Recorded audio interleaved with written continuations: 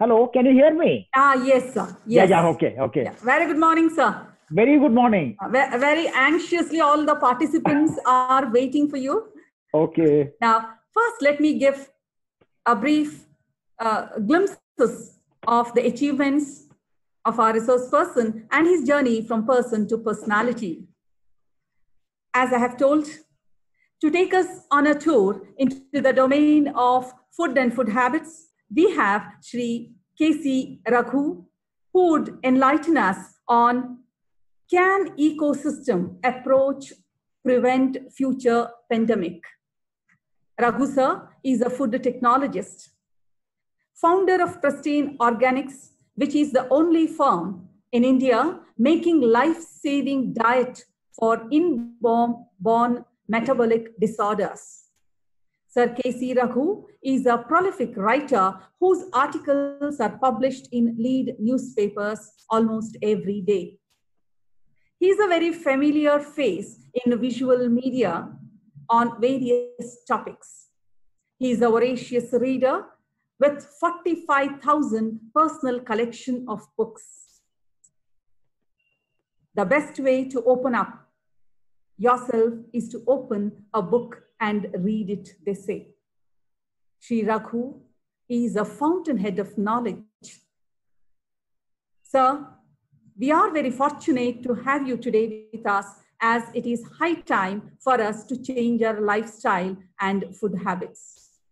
Extending a very hearty welcome, I request Sri K.C. Raghu to lead today's program without any delay. Thank you. Thank you. Thank you so much. Yes. And uh, I'm, I'm very happy uh, to be a part of this uh, uh, meeting. I'm sure, uh, you know, we can share and, uh, you know, let me share whatever I feel about uh, uh, food. And I'm trying to, today, trying to connect uh, food to, to, you know, COVID-19. Huh. Norm, normally they say that uh, almost 90% of human diseases are preventable through food and ecosystem. Uh, we we normally uh, spend a hell of a lot of money for preventable diseases. Mm. Uh, so so uh, maybe uh, we, see we are always when when a when a disease emerges like this, Mm. uh, it has hit us like a thunderbolt and has undone uh, all the human achievements, uh, the civilizational achievements uh, have been undone for the past three months. And uh, uh, this uh, tiny virus is capable of shutting down nuclear plants. Uh, you know, that's a kind of imagery that we have today.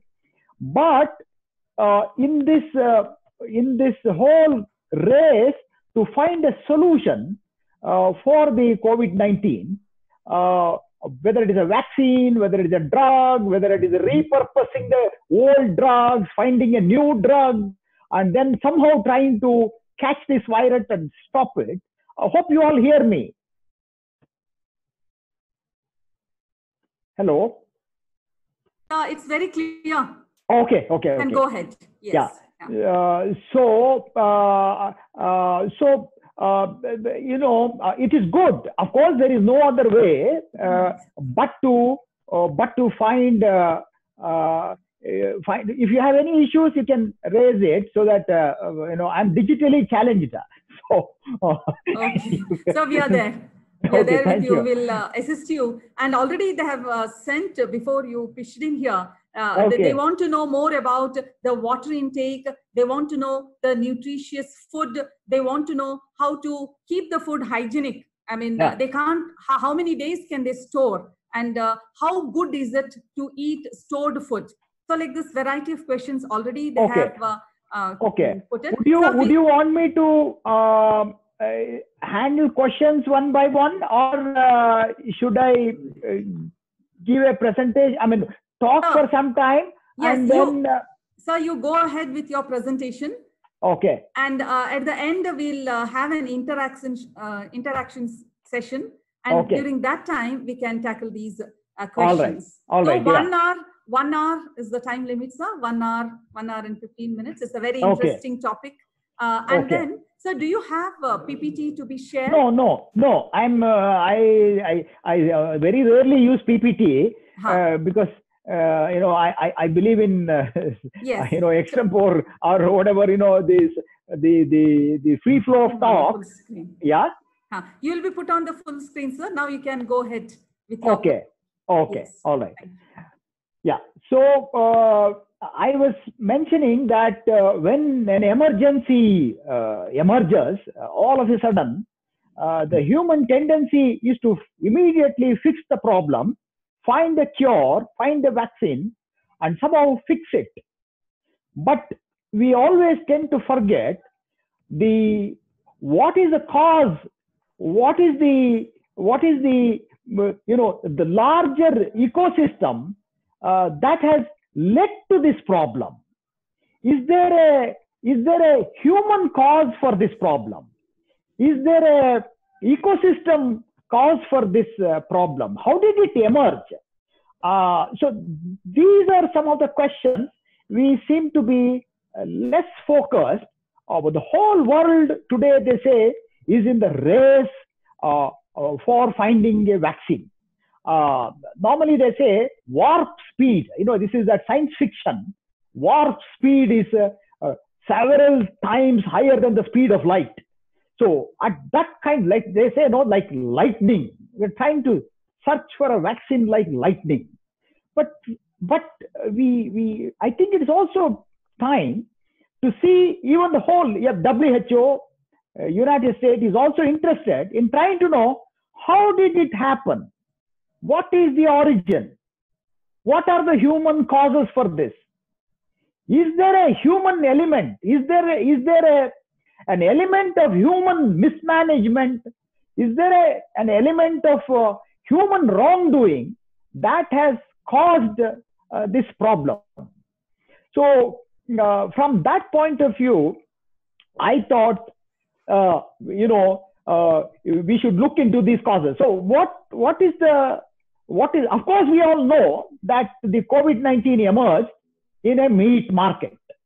At least, if you don't believe the conspiracy theory that uh, uh, that China created it in the Wuhan laboratory, uh, the, the, the the general knowledge today is that the it emerged in the Wuhan meat market, where they were selling wild meat whether it is uh, bats, uh, birds, uh, pangolins, or the or the snakes, and you know, so uh, the wild variety of food mixed with uh, uh, with the domesticated animals, whether it is a poultry, piggery, or uh, beef, and this uh, this admixture of different type of wild and domesticated uh, meat provided a, a very fine breeding ground for a new virus to emerge.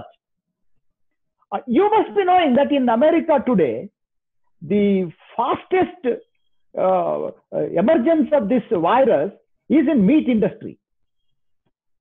Trump said no, meat factories are as important as defense establishment. And he passed a new order saying that no meat factory should be closed but 11,000 people working in the meat industry have been affected by COVID 19. And in China, this whole mixture actually was a breeding ground for a new virus to emerge. Otherwise, you see, there are viruses in this world, there are microbes in this world. The world is, of course, they say a microbial milieu, which means it is a microbial world the world and even the ocean is a microbial soup. And human body itself is a microbial soup. They say in human body there are 100 trillion cells. And 90 trillion cells don't belong to us. They belong to bacteria and virus and fungus. So uh, uh, so they they say that even in human body you are a guest in your body you are not a host because 90 percent of the of the of the uh, cells if you take cell count if you take 100 trillion cells, 90 trillion cells belong to belong to microbes. So in our own human body, you see that human being is an ecosystem. He is not a human being. You know, I, I can say I am Raghu, but bodily, I am 10% in my body in terms of cell count. In terms of gene count, you must, some of you must be aware that the human body has about 23,000 genes. Of the 23,000 genes, uh, uh, Uh, uh, uh, 23,000 is our gene. But what is the gene count of the microbes? The gene count of the microbe is more than 20 million. So, who is controlling whom is a very big uh, question that we need to ask. So, if you see that way, they say for every 10 breath we take, one breath of oxygen comes from the oxygen produced by the virus.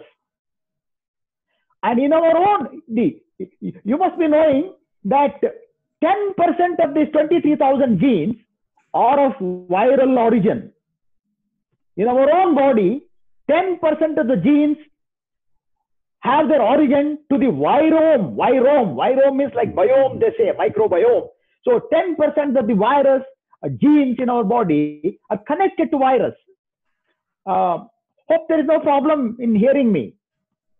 Very clear, sir. Yeah. So, so, uh, so that is the that is the kind of a admixture, the interwoven, the network of life with macro and micro lives. So, uh, just to give you some kind of a probably a jerk on how the microbes act on humans, uh, you know, there is a there is a protozoa uh, called Toxoplasma. Toxoplasma gondii is a, is a tiny microbe. If it gets into the rat's body, it can take control of the rat's brain in such a way that the rat develops a desire for cat's urine. And now the rat is searching for a cat which is totally against what you what we hear about nature in the nature what you see in the nature normally normally. Why does the rat search for a cat? Because the microbe has hijacked the brain of the rat. And the rat goes in search of the cat and gets eaten by the cat. And then why is it eaten by the cat? When it's eaten by the cat this tiny invisible microbe be, breeds in the cat's intestine. And then it comes out through the cat's urine. For, for the purpose of breeding, it can hijack a rat, get into a cat, and breed in the cat's intestine and come out. That is the power of microbes. These days, the people also talk about how several microbes could be hijacking human brain. You can read about it, how microbes in the gut can have impact on how you behave. So the microbial impact within the human body, outside the body is enormous because we don't want to, we don't want to think that that this microbe is some alien thing which has come all of a sudden somewhere else. Now, if you see the, the, the whole earth, the, they say the very first species probably was a virus because if you see the evolution from amino acids, nucleotide to a, to a, to a being, whether, whether we can call it as a being or a non-being, a kind of a, whether it is RNA or a DNA being, we can, we can call RNA as a being or a DNA as a being, then, then virus is a being. Uh, of course, it cannot self-replicate. It has to get into somebody's body to self-replicate. But this, you know, there is a famous book by Carl Zimmer, a renowned writer uh, in New York Times, an amazing science writer. He says he has written a book, The Planet of the Virus. what he calls as Earth, Earth as a planet of the virus. So it's a viral planet. The whole Earth is a viral planet. That's what he says. Now, now in Wuhan, this food fact food uh, market, they were bringing all the wild animals and mixture happened and then it jumped from one being to another. But they all say that no virus directly jumps from bat to humans. It always comes through an intermediate animal. There was a bat virus in Australia. It came to horses and then to people. The disease called Hendra. Hendra, you can Google and find out.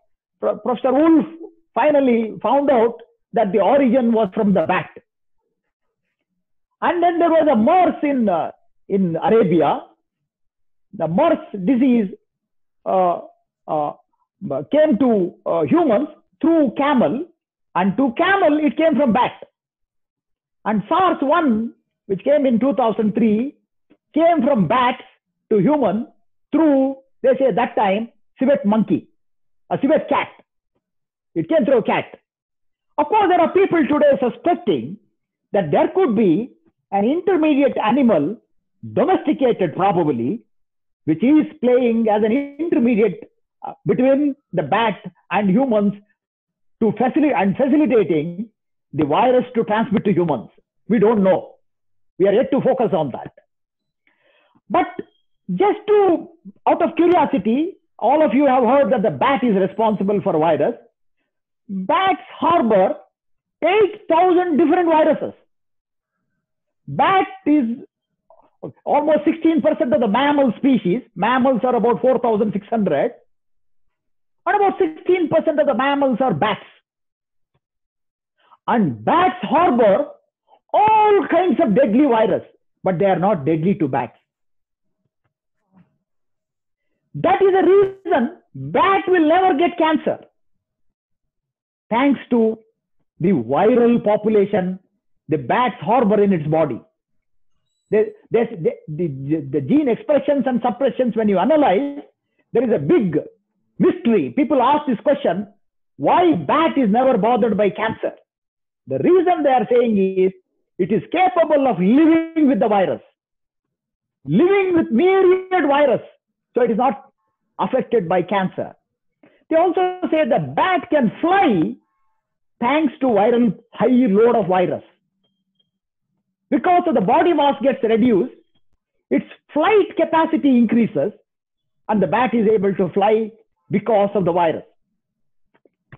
So, the, is it is it so long run?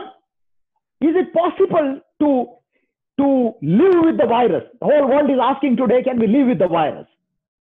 When will the time come when we when we can live with the virus? So the bat, because bat is also a delicacy in, in China. You may be knowing there are large number of tribal people, even in India, eat bat. It's not that only Chinese eat bats. There are tribals in Vijayawada, near Vijayawada, Vizag. There are tribes in India, who, even in Karnataka, who eat bat, who eat monkey sometimes we think that Indian food habit is just, you know, rice and sambar. And I always say mountain of rice and river of sambar. It's not just that. Indians eat 2,800 different types of insects. If you go to Malnad region, there is a red ant, which is a delicacy, particularly during rainy season. So the food habits are myriad. It's not that only Chinese eat that and we are all very sattvic kind of thing. I, I don't buy that. So in the Wuhan market, because of this admixture happened, the virus uh, emerged.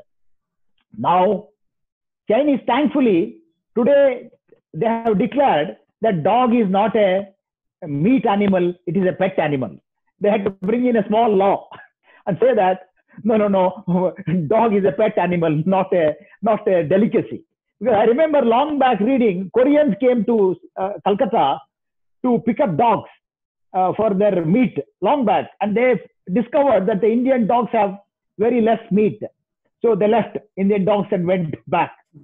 Uh, anyway, uh, you know, I, I, can share a joke. Long back, you know, when communist uh, was communists were ruling USSR, there was this joke that uh, a very uh, beautiful, bountiful dog comes to some street in India, seeing the Indian stray dogs, emaciated, bag of bones, no flesh in the body. The dog remarks from Russia, what are you people? You don't even have flesh in your body. And dogs say, Indian dogs say, no, no, our fate is very bad. We have to pick up whatever they throw in the street. And this is how you, where are you from? You look so beautiful. You look so feathery and, you know, shiny and all that. Dog says, yes, I am from USSR. And they take care of me so well. I have no problem at all. In the winter, they give me all the clothes and shelter and everything.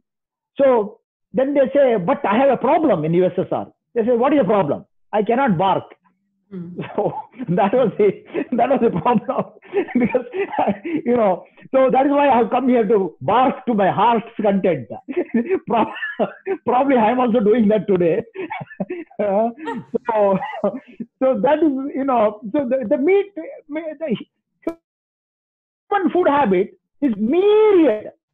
Human food habit cannot see First of all, humans are not endemic species. What do you mean by an endemic species? A species confined to one single area. For example, if you go to Western Ghats, there are 8% of species which don't live anywhere else. They live only in Western Ghats.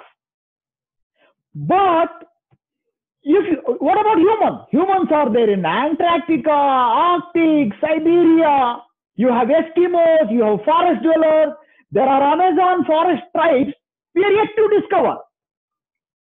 So humans have populated the whole world. They say that, that the humans, that this whole world today is called as Anthropocene. What is an Anthropocene? Anthropocene is the human world. Because you, you if you when you fly on the aeroplane, you see that the entire planet is is is carrying human signature. It is either agriculture, buildings, cities, towns. So humans have a signature on the entire earth. The earth controlled and manipulated and uh, and used and abused by human beings. You see it all through the all through the human surface. That is why it is called Anthropocene. Anthropocene is the human world. So that is a kind of uh, kind of world we live in, interconnected world, and the human uh, uh, connection we see. We see, is human responsible for a virus like this? Now, we got our TB from cattle. We got our smallpox from cattle. We have got, we got, they say influenza came from Chinese ducks. And uh, a number of diseases, if you see, post agriculture and domestication, humans have exchanged diseases, viruses, bacteria, protozoa, and microbes between each other. That is why they say you are not, you have co evolved. What is co evolution? You are not a genetic material of your own.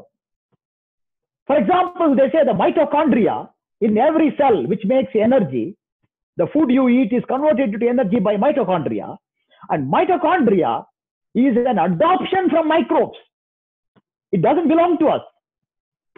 So you see that admixture and co-evolution happening across the world. But, but you also see humans playing playing God, trying to say that all creatures are under my control.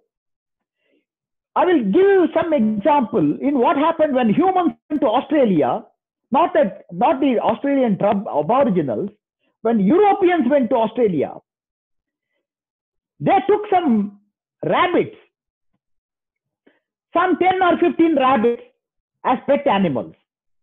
And the rabbits there bred like anything because Australia was a vast land with lot of grass and the rat, rabbit population just multiplied.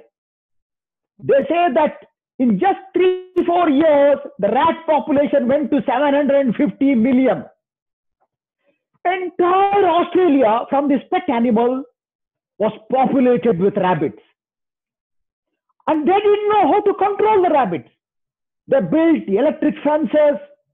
They tried to kill animals, rabbits, shoot rabbits, but the numbers were overwhelming. They didn't know how to control rabbit. Then Europeans learned that there is a virus called myxotoma which can kill rabbits. They infected a few rabbits with this virus and they let it into the forest. And within a year, 90% of the rabbit population died. This kind of human manipulation, first of all, we took we took the rabbit to an un, unknown area. Australia was not and was not meant for rabbits. It was not an endemic species there. We took the rabbit. The overbred population explosion happened with the rabbit. To kill the rabbit, we used the virus. So in this way, humans are using microbes we, we use microbes. Our curd is made by microbes. We know that on a daily basis. Our pit is made by uh, virus. Our dosa idli is made by virus. Uh, virus, microbes, yeast, or lactobacilli. So most of the food we eat is of microbial origin. The, whether it is a, even the liquor, so-called spiritual stuff, is made by by yeast. So that is there. But humans are also trying to, in a way, put one into the other and convert, and then trying to, as I said, play God, and then maybe we are in a way responsible. Now, coming directly to food production, now if you see, today there is what they call as one we are for our food production we are invading into forest.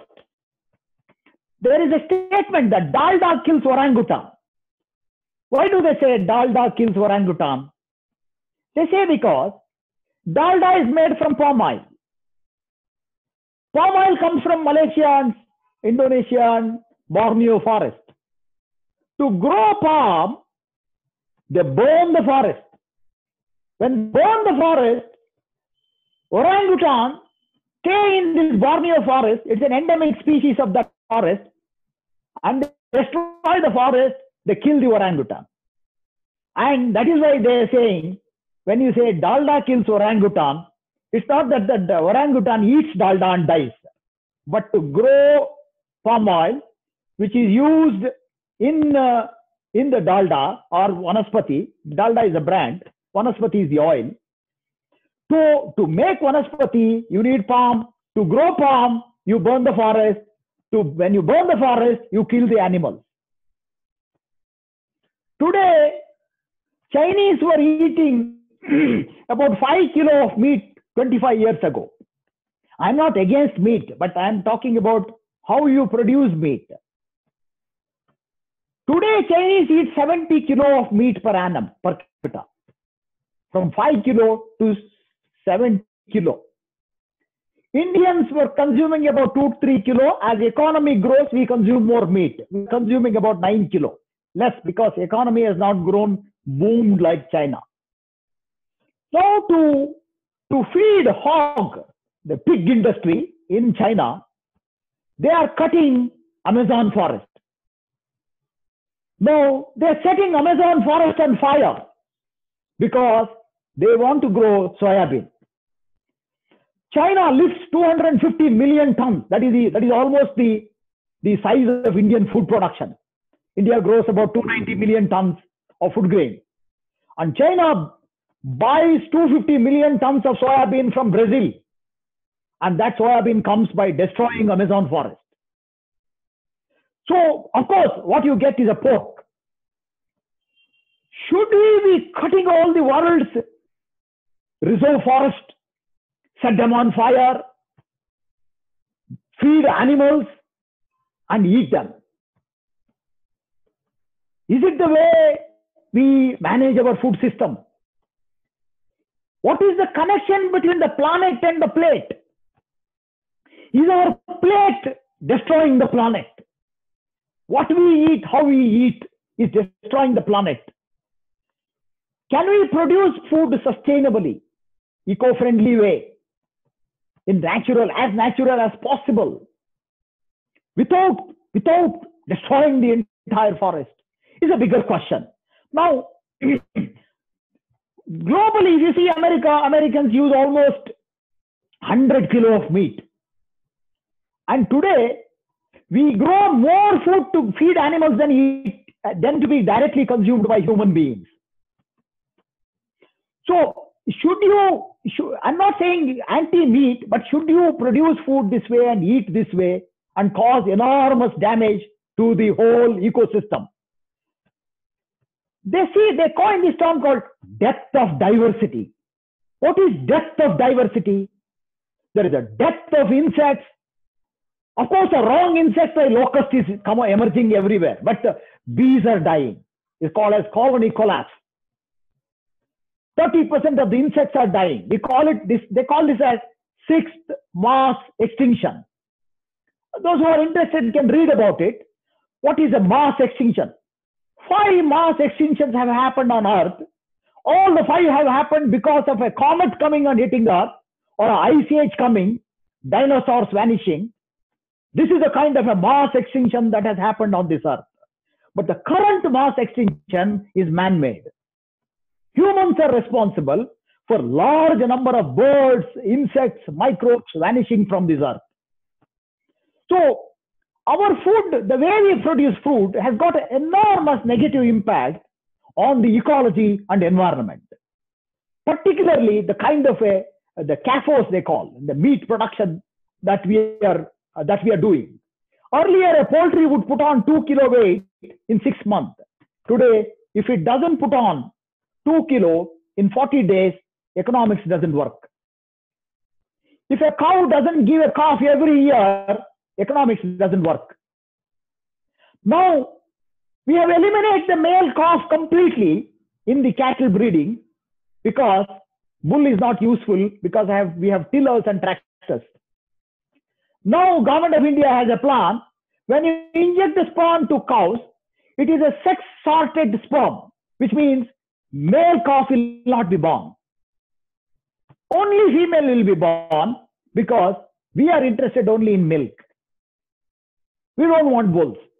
So humans are picking and choosing what you want. I don't want a male, you eliminate the male. Humans are doing the other way. We are trying to eliminate the female, female feticide, because millions of females are killed in this world, particularly in India. There is a bigger problem that we have. But in animals, we are doing the other way around. We are eliminating the male species. They say if there is one bull for one lakh cow, it is enough. You can sort the sperm so that the male will not be born. So human interfere and intervention in the way, say, when you drink milk, you don't think about all this.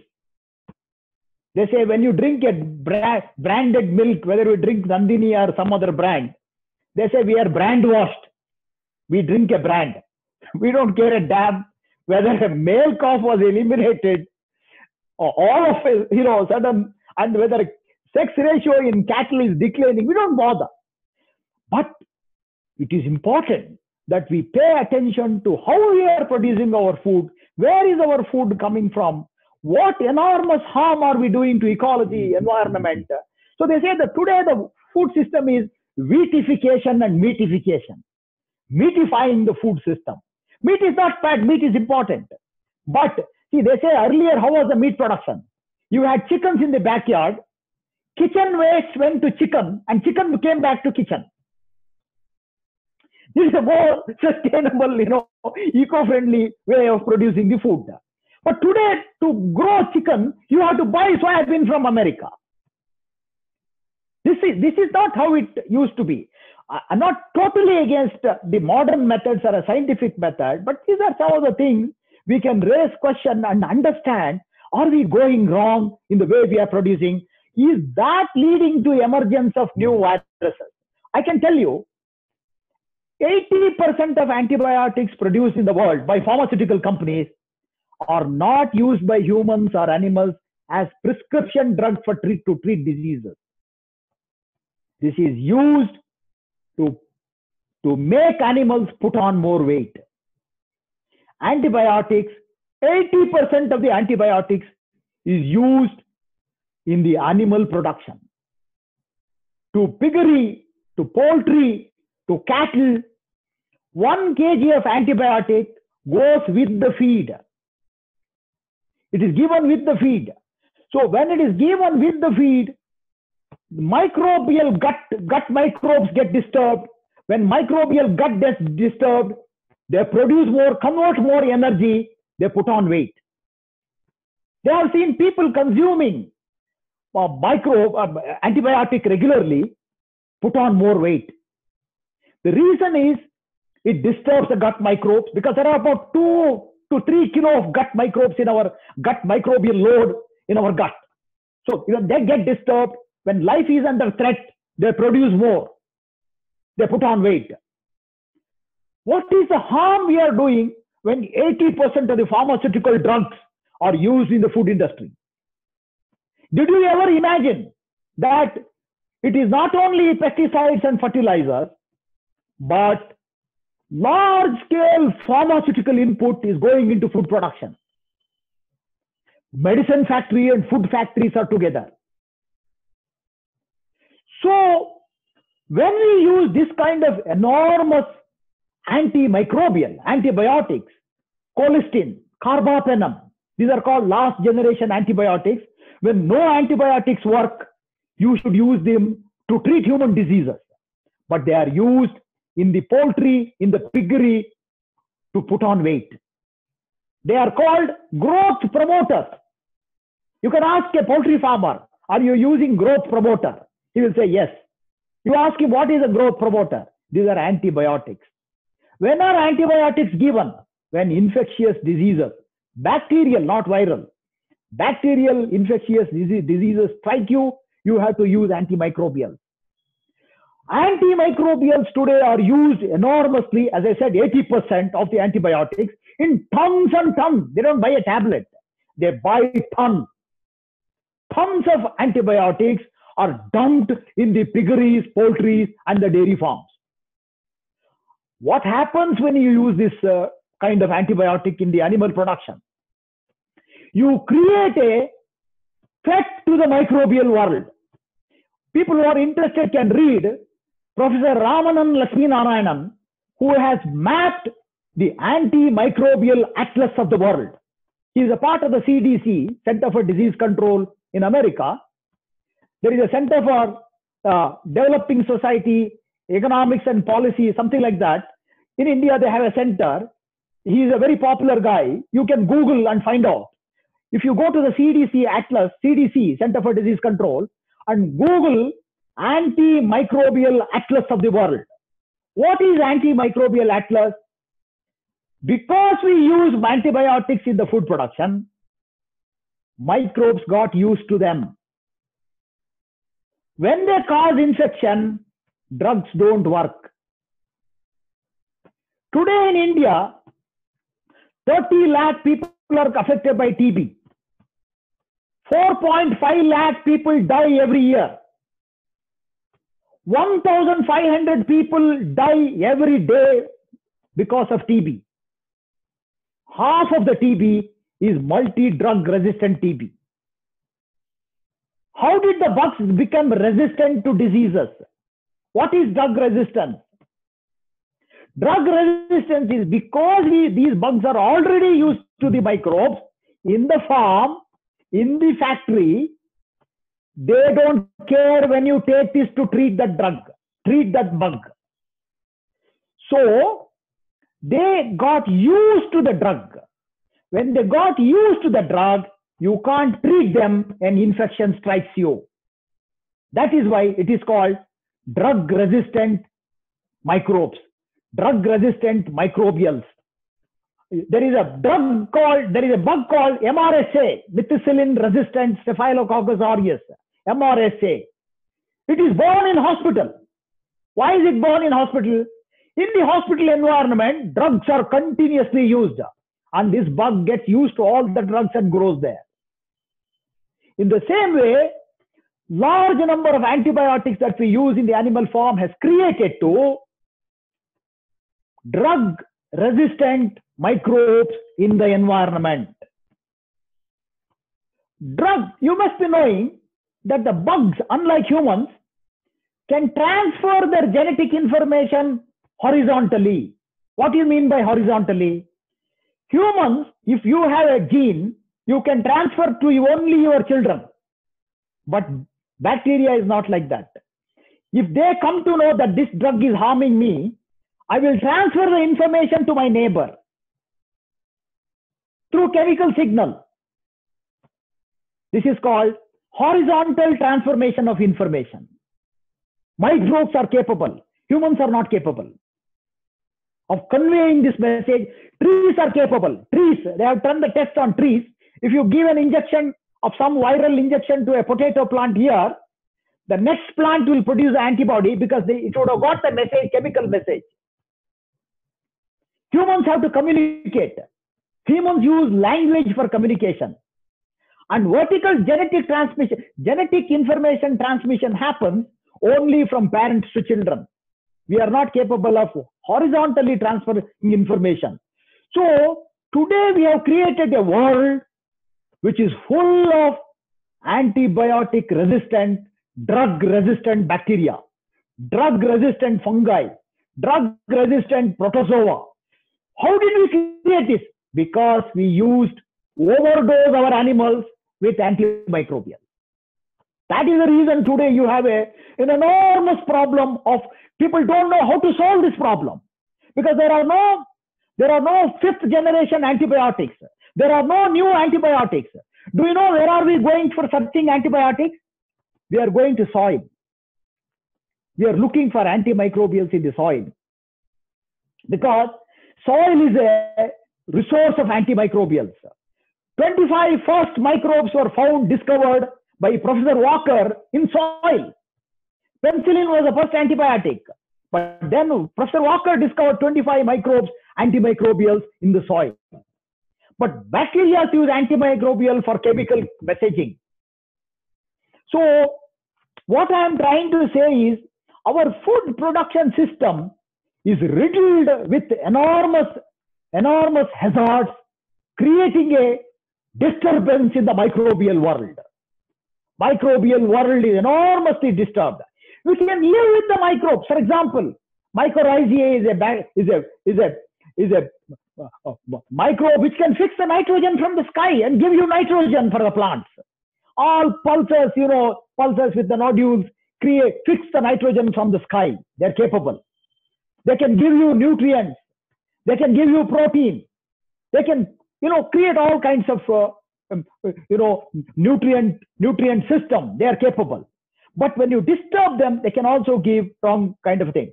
Now, what happened in Wuhan, they say that the microbe from one source to another source got mixed and produced a potent, powerful uh, microbe which you can't treat. How did it happen?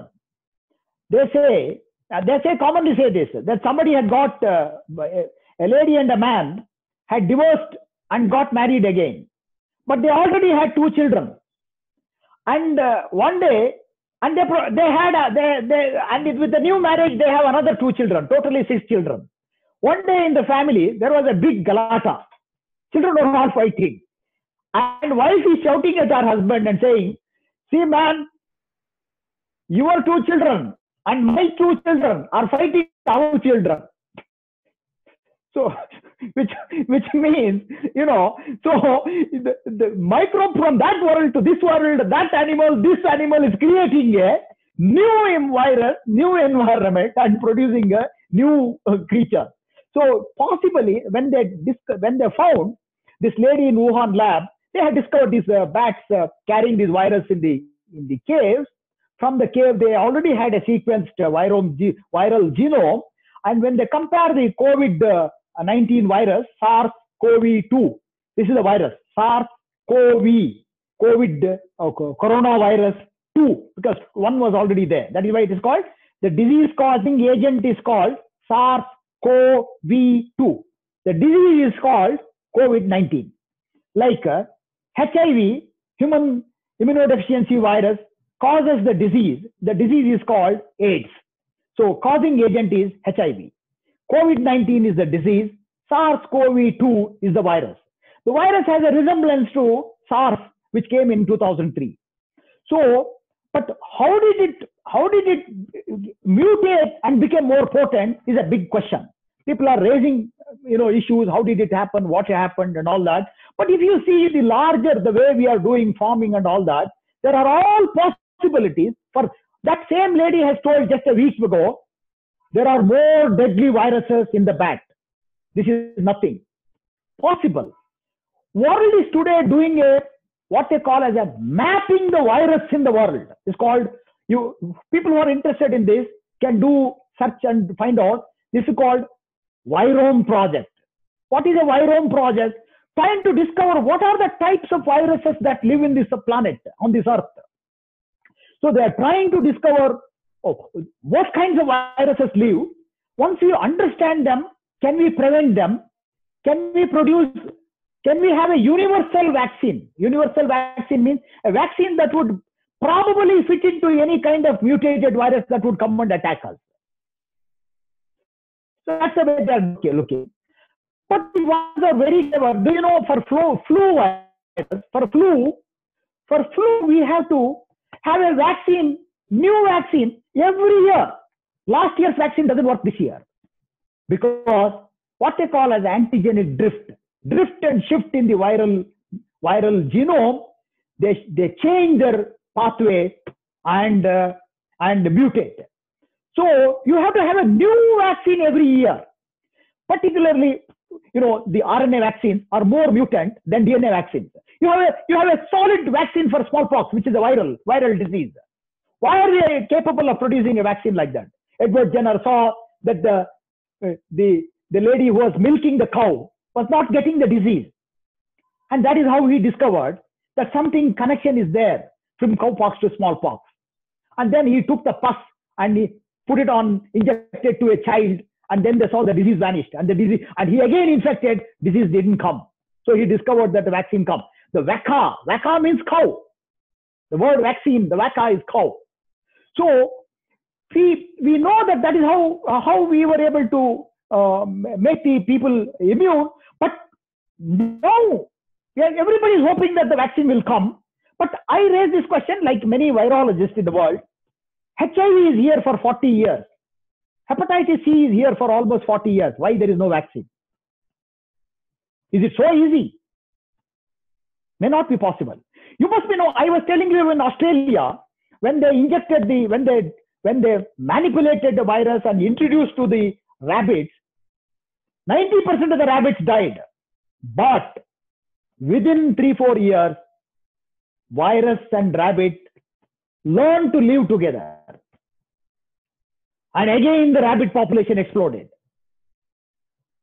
So that is why we are saying today we are talking about herd immunity. What is herd immunity? That if if if 60% of the humans are infected by this disease, already in New York about 20% are infected. If 60% of humans are infected, probably we'll get a immunity, and this will not uh, this will not spread. Earlier, when smallpox was there, parents used to host a pox party. What is a pox party? Child with a vaccine, with a disease will come to the party and spread the disease. We should do this this now in this age. Eh, we have to we have to find a vaccine. But that is how they used to they used to spread the disease and make people immune to the disease. That's how it used to happen. So so coming to coming to our food, but you know very well that this disease, this virus is affecting people who have low immunity, who have comorbidity. What is a low immunity? How do you increase your immunity? Suppose you have BP. With people with BP, it attacks easily. People with TB, uh, uh, diabetes or cardiovascular heart problem, it is attacking easily. These are called comorbidities or preconditions. But people are also saying coronavirus is independently capable of causing heart attack because it is leading to clotting of the blood. In children, earlier in the, when the disease first came, we thought that disease is not causing any harm to children. But now they say in children, it is causing Kawasaki disease. What is a Kawasaki disease? It is a clotting of the blood. So now they are seeing, because government is very happy to say comorbidity. because if you say comorbidity, it is not a viral problem, you had a problem. So that is not very, it's like, it is like, you know, these uh, soft drinks people say, Coca-Cola keeps saying. If you drink Coca-Cola and if you don't run, it will cause disease. If you don't run, it is your problem. You are not responsible. So you can blame the responsibility to the company and say that you know no nothing is wrong with my product. So government also can simply say no. In Mamta Didi is saying, and many of them are saying, saying no, no, no. They had diabetes. You know, people say when people die of hunger, they say uh, uh, no, no, no. Uh, it is not um, hunger. They had some disease. So this is a, this is a this is a blame game. So coronavirus is independent risk factor. It is not a cofactor. It is an independent risk factor for heart, for lung, for brain, for toes. Top to toe, it is independent risk factor. That is what the scientists are discovering. This is the new avatar of the disease. They are discovering all kinds of uh, new things about this virus. But some basic aspect of the human immunity. For example, I was telling about BP. Why does the BP come in India? Because we eat more salt. Our salt requirement is 5 gram per day, but we love pickle. We eat 13 gram. Anybody who has got high BP, reduce salt to half. Or if when you eat curd rice, don't eat uh, use salt or something like that. Or less use less pickle. Or don't go to Andhra restaurants quite often. So your salt intake comes down when your salt intake comes down, BP comes down. Why? Because when you take high salt, blood absorbs water. It makes you drink water. When you drink water, excess water, water uh, increases your your uh, volume. When the volume increases, you have pressure building up in the blood vessels. So high salt leads to leads to leads to BP blood pressure. So I am saying that simple BP is caused by just excess high salt. This is something you can, you know, you know, it's there in your hand, you can reduce it. So is sugar. Sugar requirement for, not requirement, there is no sugar requirement. If sugar comes from fruit, there is no problem. But if sugar as such, if you take sugar, World Health Organization says limit it less than 25 gram a day but Indians are consuming 125 gram. Indians requirement is 15 million ton of sugar. Not requirement. You can't even call it as requirement.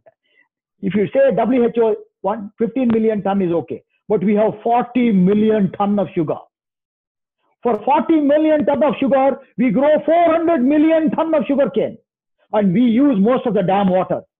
Dams were built with lakhs and lakhs of lakhs of crores of money, government money, our taxpayers' money. But the utilities, the water is used by for sugar cane, and you get sugar, and byproduct is sugar, alcohol. You get two products, sugar and alcohol. Both are not good for human body, nor the water usage damn good for the environment. So you have caused an enormous damage to the environment and ecology. On the other hand, you have caused an enormous damage to your own body. You, they say human diseases are today mostly lifestyle diseases are metabolic disorder. What is a metabolic disorder? You eat something and your body can't digest, body can't handle, excess sugar body can't handle because body has 5 liters of blood. It can hold only 5 gram sugar. When you eat more sugar, all the excess sugar is converted into, into fat. That is why jokingly they say a refined sugar, a few seconds in the mouth, few minutes in the stomach, permanently in the buttock. So they say from lips to hips. That is how it happens if you, if you keep on consuming excess of, of uh, uh, sugar. If you see human immunity has declined mainly because diet diversity is dead. There are one lakh varieties of rices. How many are you aware? There is a rice variety in Assam called Komal Chawal, which doesn't need cooking. It needs only 10 minutes soaking. There is a rice variety called black rice and the black rice, which is called Burma rice. It needs eight whistles to cook. Any rice that takes long time to cook uh, doesn't cause you diabetes because it is slow releasing. When it is slow releasing, it doesn't flood your blood with glucose and disturbs your immune system.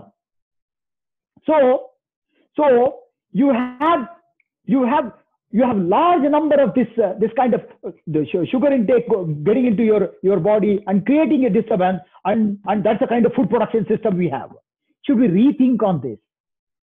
Should should the government and government of india subsidize the sugar cane give export subsidy to export sugar to abroad 10 rupees government of india is given to export sugar they say when you export sugar you are exporting water because per kg of sugar, it almost takes 6,000 liters of water. Very water guzzling plant. So if you take KRS dam, Mandya sugar cane. So this is a kind of equation that we have. So diet diversity, as I was telling, like rice, just in rice, how many varieties? Pulses, how many varieties? How many millets? Eight, nine millets. How many wheat varieties? 5,000 wheat varieties. How many types of banana? 5,000 types of banana. 3,500 types of mangoes. Each mango is different. They are not same. Each taste is different.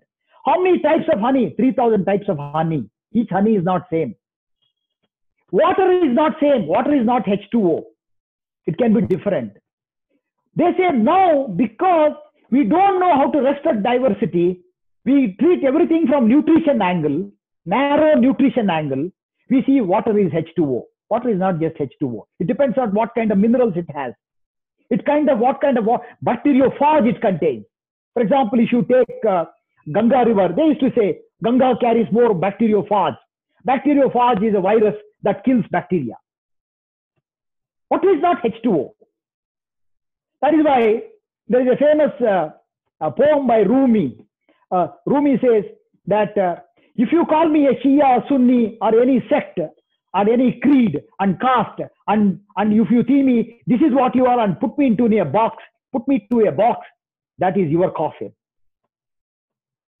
don't don't consider me box me with one single characteristics because i am many i am of multitude i am a brother i am a father i am a son i am a friend i am everybody i'm also a lover so, you know, so this is how, you know, this, this whole thing, it is not just that, you know, unify things. So, they also say there is a depth of diversity in human taste. Because our, our, our taste, our tongue is tuned to sugar and dalda. I told about 3,000 varieties of honey. Each honey is different. Each fruit is different. It's a mango season. Each variety is different.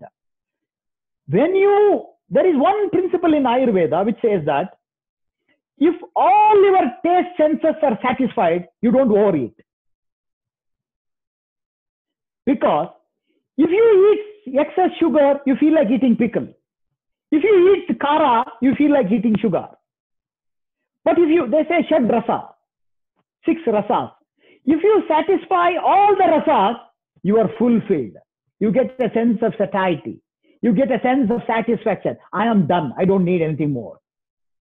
That is one way of over, not overeating. Because eating is psychological. It is very easy to, to preach about nutrition. Can you stop eating? Can you say no? I can't. I'm telling you with all the knowledge, I, I keep telling, advising, requesting my family members, don't keep food everywhere, I will eat it. I'm not capable of controlling myself. When you are eating, you don't know you are eating. You keep on eating. And then after two hours, you feel, you start regretting and telling that, my God, I should have stopped. I shouldn't have done this. I shouldn't have eaten this. There is a famous book called David Kessler called End of Overeating. How do we stop this overeating? It's, a, it's like a drug. Food and drug are not different. Do you know sugar, for example, just acts just like opium. There was a study with rats, two group of rats. One group was given fruits and vegetables. The other group was given high sugar. The rats on high sugar, you know, what they did on these two groups, they passed a laser light. Laser light which would burn their body. When the laser light burned the body of the rats, the group of rats eating sugar, they did not go away. They did not budge. They kept munching because they are addicted to sugar. Whereas the groups eating fruits and vegetables just ran away because survival is important. If you are alive, you can come back and eat. So foods can also act like drugs. That is why they say your taste is a cultivated habit. It can go wrong. So this is some general information about this one. How? If you have high immunity, it is less likely that a virus or a bacteria or a protozoa or any infective agent will cause disease. What is, are you vulnerable? Now you say people in India, they say, no, Indians are, Indians are immune. In a way right, in a way wrong. How right? Because Indians are used to lot of filth, squalor and muck, and hygiene is not there most of the homes and most of the environment, they say in Dharavi, people live in 2.5 feet distance. Where is the question of six feet distance? And 90% of the Bombay diseases are because of one single slum. Don't blame the slum.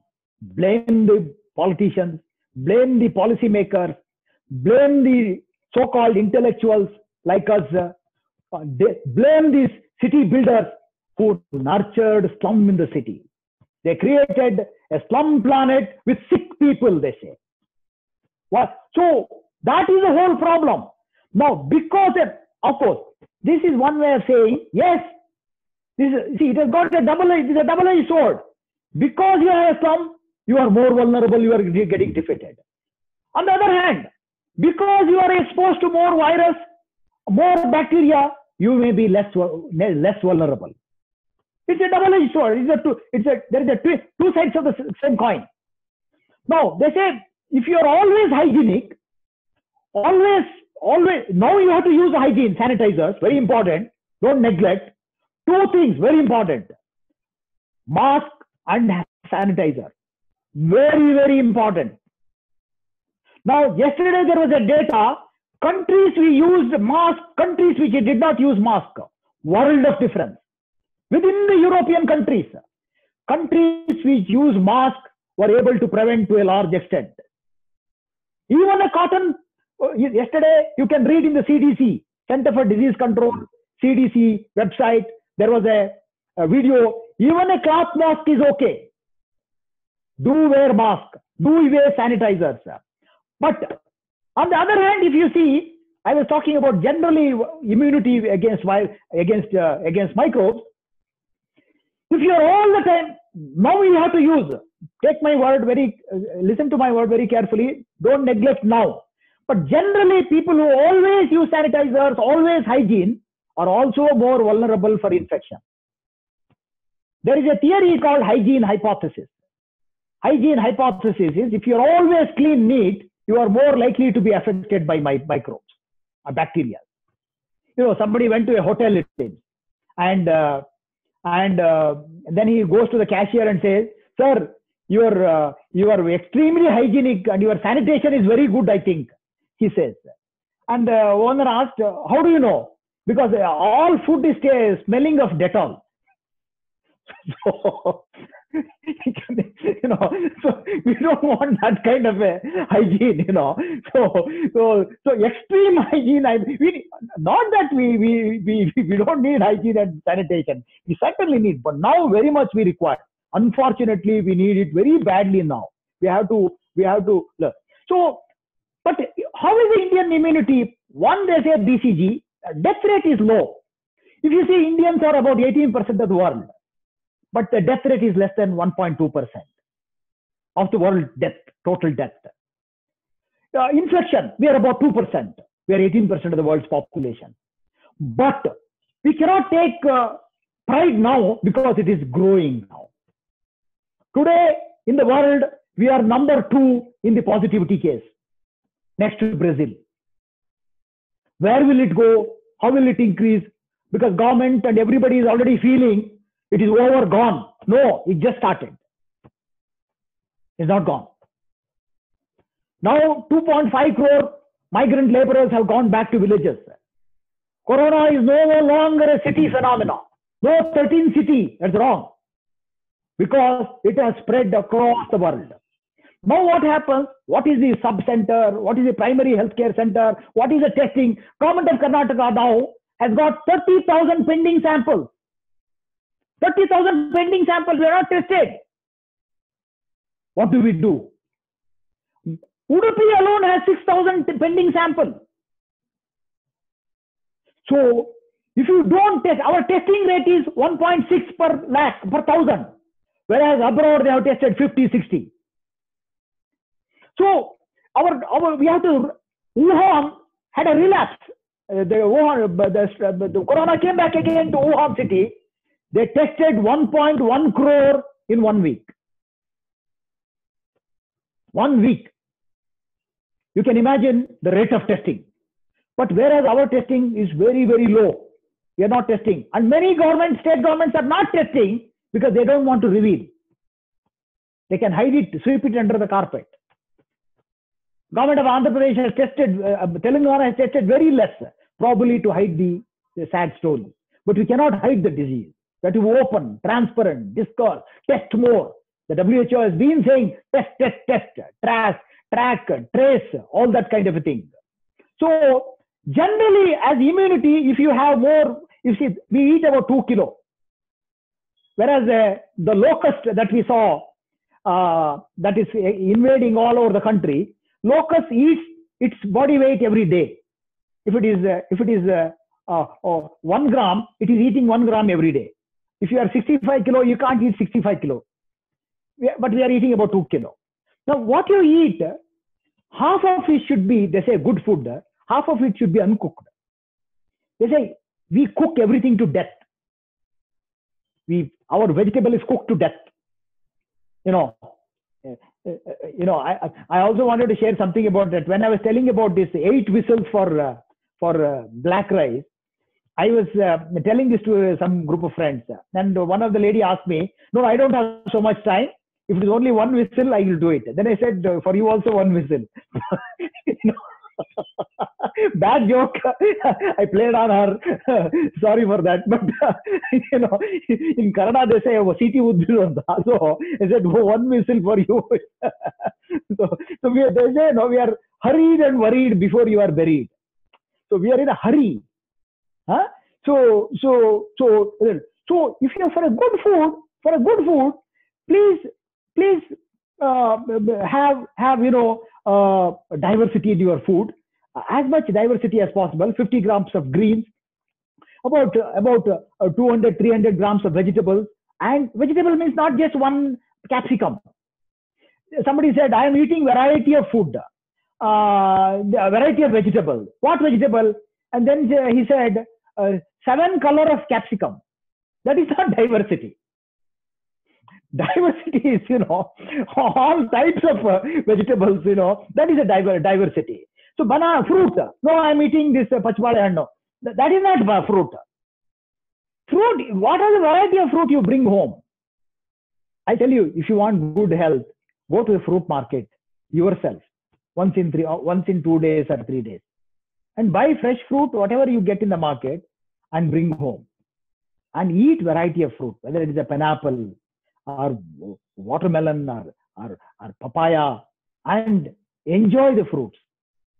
I'll tell you, that is one of the one of the important if you have diversity and if you enjoy the food. It is very important that you enjoy the food. They say, what is a good food? You should forget who you are when you eat food. They say, what is a good music? You should forget raga when you listen to the music. You know, famous uh, Sufi saint Rumi says, there's a poem. He says, uh, I am in a garden There are bees and butterflies hovering around here. The garden is full of is, is full of flowers and blossoms. Oh my love, if you don't come here now, this is all nothing to me. Then he says, if you come, again this will be nothing to me. That is what good eating is all about. That is what enjoying the food is all about. There's a poem by a Goan poet by name Borkar. He wrote this poem. He says, Oh Lord, he was very old when he wrote this poem. He says, Oh Lord of death, let it not be my turn today. Not today, please. I have fish curry for dinner. This is to say that you enjoy your food. You, you don't become too nutrition conscious. Sir. That's very dangerous. Sir. Don't become too health conscious. Health is a mania. Don't say that I want to be happy, happy. You will always be miserable. See, it is, it is, it is not something to be searched and acquired and, uh, you know, sought and purchased. They say happiness at discount 50%. Don't go for it. It is something you, you live. So how do you, you, so what do you do? They say biology and biology. What you buy. I always say, show me your fridge, I'll tell you the family health. Normally, I look at husband and wife when they walk together. Both of them are obese. I say, I know what you eat. So if you see their, if you see their uh, cart, you can tell what are they eating. When, when you go to a shop, you know, market, supermarket, if you see their uh, shopping cart and see what are they buying, you can tell what is their health. So, buy, what you buy, biology and biology are interconnected. Don't buy if there is a, just because there is Asha Sweets or some sweet shop close by, don't go keep on buying. Because you buy, you will eat. Sweet, see, for example, if you have to take 10 gram sugar from sugar cane, you have to eat 100 gram sugar cane, it takes 15 20 minutes. But one spoon of sugar, you don't even bother. You just put like that and eat it. So, largely you can increase your immunity, whether it's a coronavirus or some other virus coming tomorrow. Build your fortress strong, eat healthy food, eat fruits, vegetables. If you are non-vegetarian, good to eat fish. If you can get some backyard chicken, very good. If you get some natural farming, very good, possible. So, but, but try to avoid, I mean, not, you can't do away immediately. I, am not saying overnight you do this, it's not possible. But possibly, as humans collectively, can we think of a better food system, better health system? That's why I say your food system should be should lead to nutrition system. Nutrition system should lead to health system, ecosystem. That is why health is called as a ecosystem function. There is no single straight line between food and health. One nutrient to health. It is it is a ecosystem, larger ecosystem, multiple ecosystem. What you you not only eat for yourself, you eat for microbes in your gut. There are two kilo of microbes in your gut. If you don't fight, you have a problem because you don't have food for your microbes. If you want to nurture good microbes in the gut, you have to eat good fiber. You know the uh, banana pit, the center of the banana, banana plant, what you call baladindo. Huh? They say Tamil Valatando. You know, so that has got very high fiber which can absorb all toxins. I think uh, I am, uh, if, you, if you stop me, you can stop me anytime now.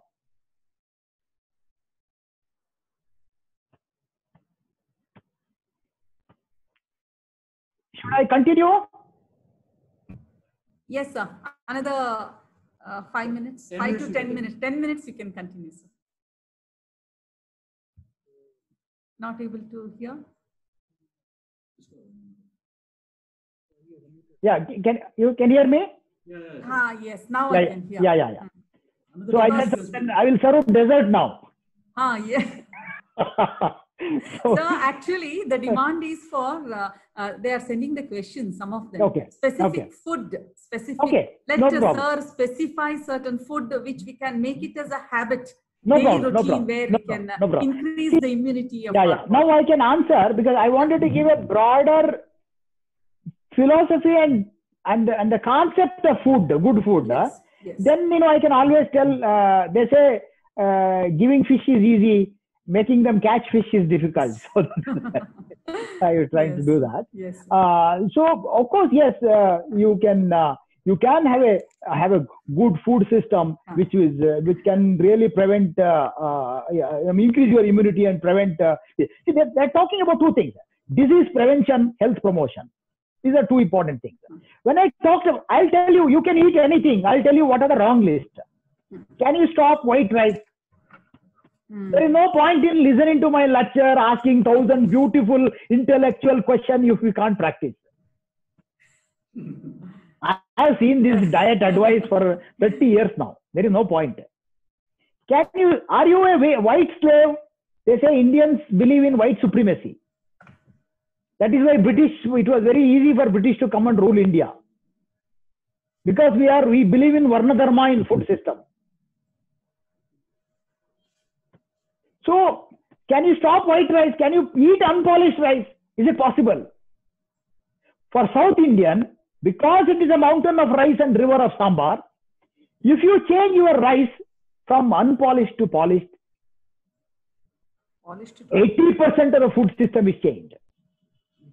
But if you don't want to change your white rice and I want to eat organic chocolate, no use. There's a bottom of the pyramid. Largely, if you see two, three, about 290, 300 million tons of food grain that we grow, 200 million ton is rice and wheat. Out of wheat, we make 15, 20 million tons maida. And in rice, it is mostly polished rice. They say you take the rice to rice mill and remove the rice polish. Rice polish has all the vitamins. Vitamin E A was in, in 1912 was first discovered in rice polish by Professor Funk in Indonesia. And all the B complex, protein, fat, fiber, everything is there in rice polish. That goes to buffaloes. And the rice polish also sometimes goes to rice mill and they remove the oil. And in the oil, they boil at 260 degree and remove vitamin E. And sell vitamin E to medicine company.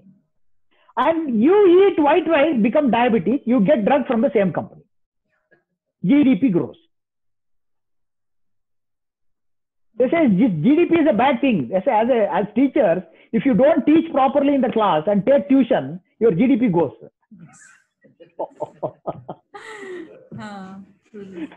So that, that is okay. You can ask questions, and uh, I don't know. You, you can you can collectively ask or however, so that I can answer. Otherwise, I can talk. I can talk all day. So alternate food, uh, food you have to suggest. sir. Like you said, uh, white rice instead of white rice, uh, you can go for brown rice. Yeah, Boiled there is rice. no there is no brown rice. Is it That's wrong rice? concept. No, it is unpolished. Okay. There are rice varieties. Hmm. There are rice varieties. There are, I told you, one lakh varieties. Anything that is not polished is called brown. There is no brown variety rice. No farmer is growing brown rice. It's unpolished. It is unpolished. See, people are not. See, I see people coming to market and asking, I want brown rice. There is no brown rice, unpolished. It's named like that, sir. It is named like that. this, uh, But people think it is a type of rice. uh, no.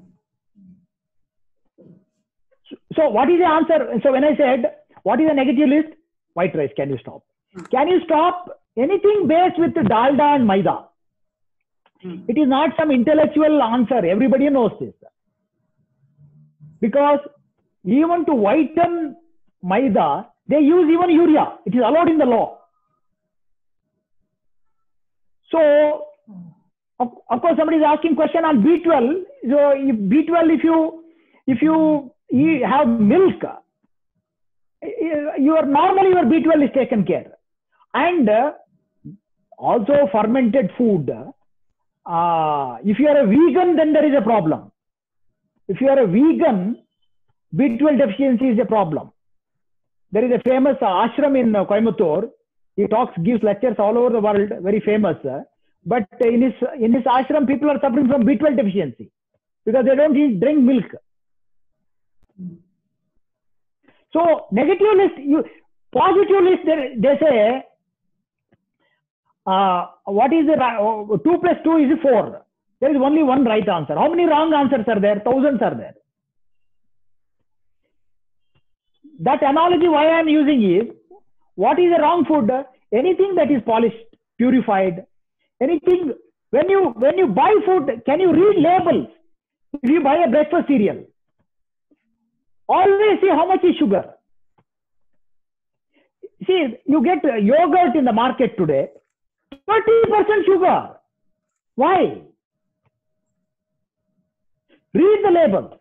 If they are high in sugar and salt, don't use them. Once in a way, it's okay. Once in a way is okay, but try to avoid.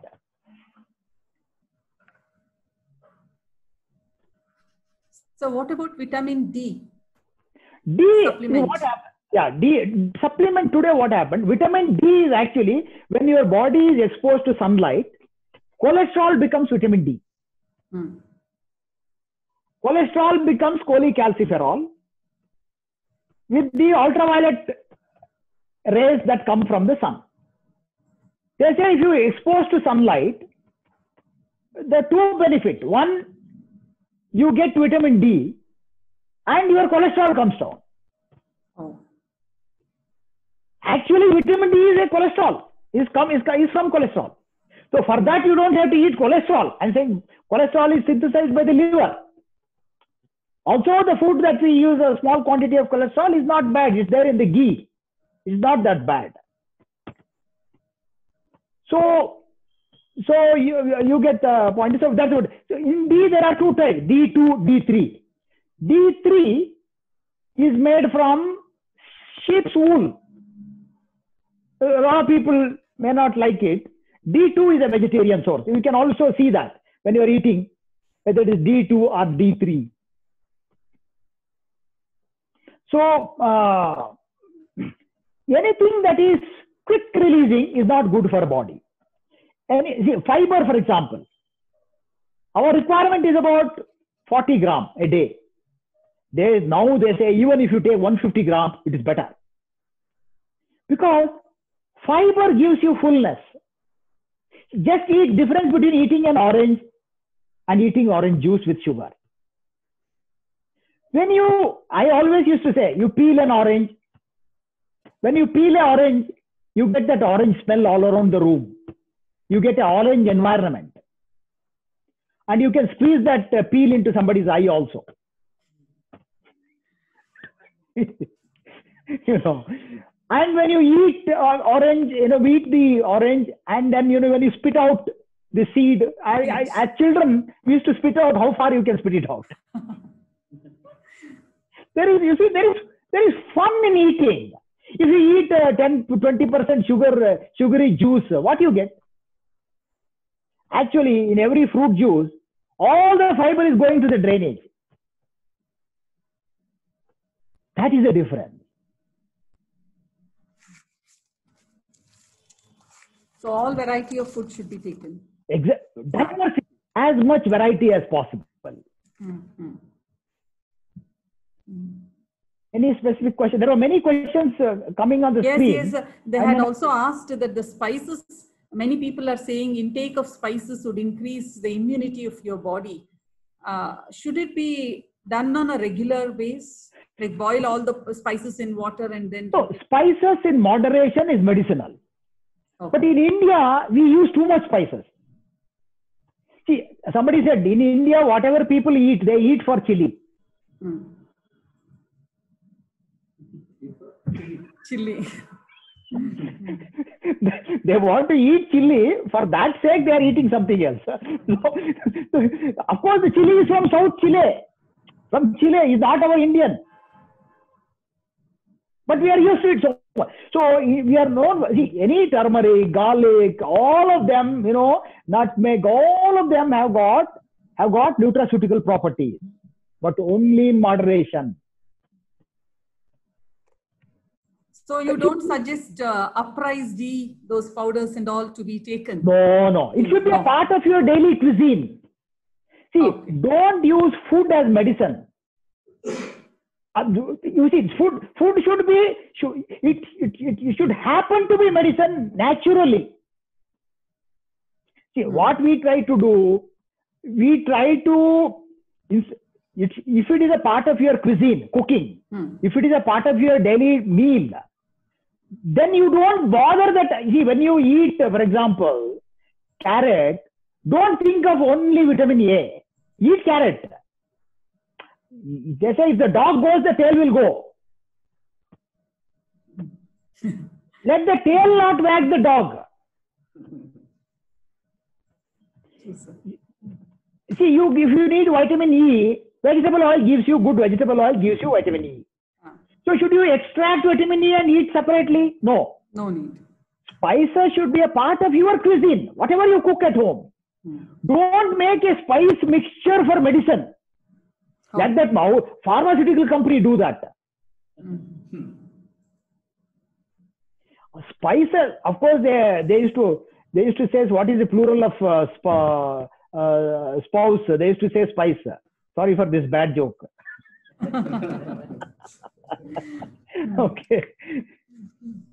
Somebody has asked, uh, uh, could you please enlighten us about the intake of water? How much it Water. There is for the see problem. pro- uh, I agree. Very good. See, I think there is they, they say that we are all born ignorant, made stupid by education. okay. Why they say, they say in Zen philosophy they say who is enlightened? They say enlightened is one who eats when he is hungry, sleeps when tired, drinks water when thirsty.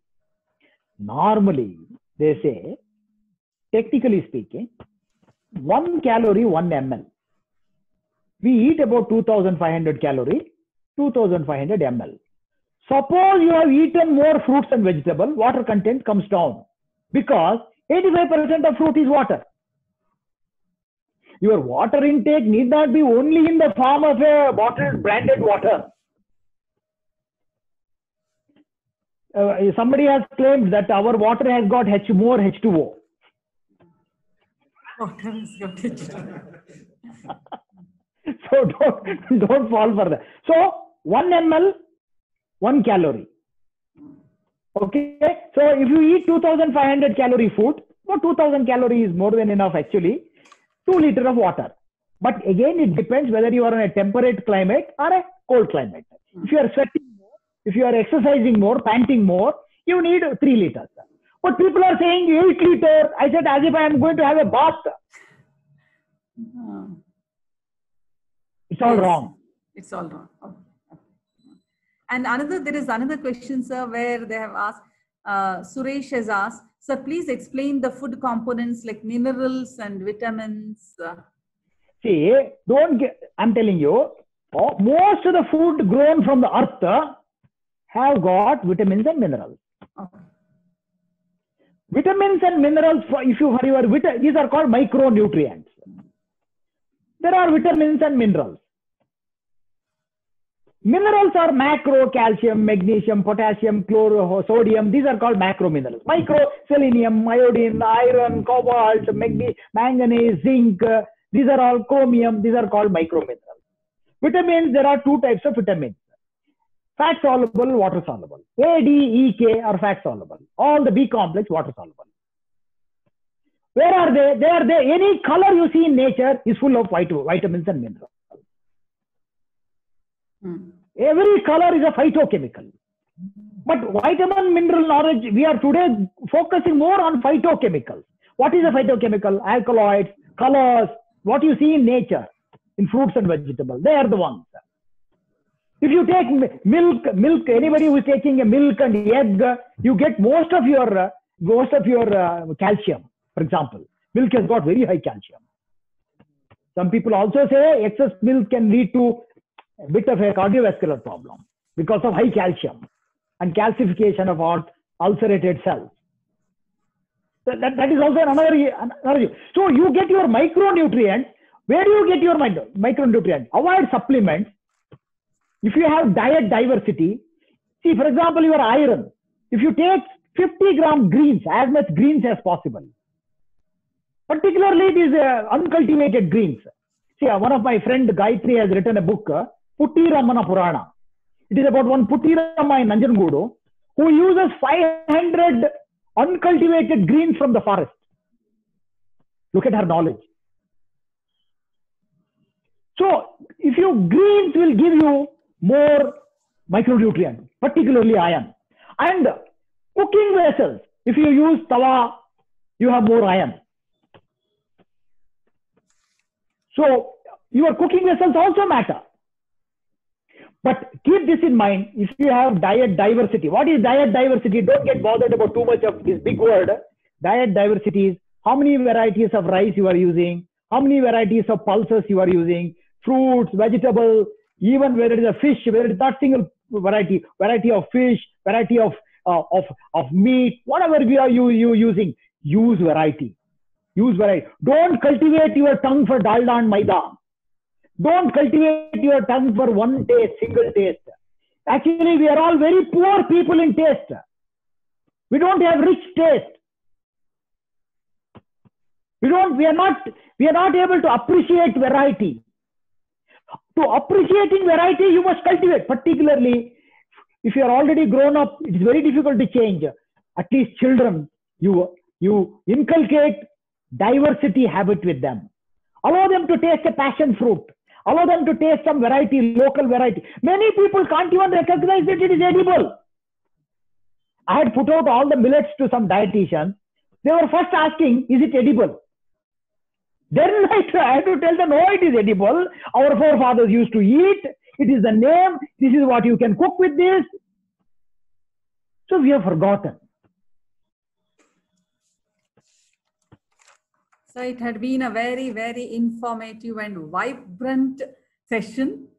Uh, you had mesmerized all the participants and uh, the responses if we see and the, um, you know their opinion that, that they have put it's simply marvelous they say that sir you are an ocean of knowledge and uh, it's not enough uh, that they have given you just one hour you should have uh, we should have had more sessions of yours and uh, first time we have got such a response uh, thank you so much there is Thank no so doubt much. at all that you are an acclaimed speaker Thank you. Thank you so much. Yes, Thank you. sir. Uh, there are many people that we meet in our lives, uh, but only a very few will make a lasting impression on our mind and mind and hearts. It is these people what we will think of often as they have touched our heart by the magic wand of their knowledge. And sir, you are one among such very uh, precious gems. Thank, Thank you, you. sir. Thank you so much. Thank Thank you spending your very valuable knowledge with us. And this is going to, uh, uh, to be a very memorable session for us. And I thank all, as we are running short of time, we have got to wind up now. I thank all the participants for their very active, proactive, I should say, uh, participation in this. A lot of questions they have asked and all, but you have already covered it in your talk. You have already said that uh, what should be there, the pl- the difference between plate and planet how we have got to maintain the ecosystem between the planet and the plate you have very very very comprehensive knowledge and information you have given sir thank you thank you so much Thank i you so thank much. all the participants i thank the organizers especially Dr. Muni Narayanappa, the principal of Government First Grade College, Hoskote, uh, which is located in rural Bangalore, for creating such a, um, uh, very useful platform, a national-wide platform, along with his team, the organizing committee members and the conveners. A big thank you, sir, for this knowledge enrichment program. Tomorrow, again, we'll be meeting at 11 o'clock with yet another very vibrant uh, speaker. I request all the participants to log in at 11 o'clock tomorrow and stay connected with us, stay, stay at home and stay safe. Thank you. Thank, you, one and all. Thank you.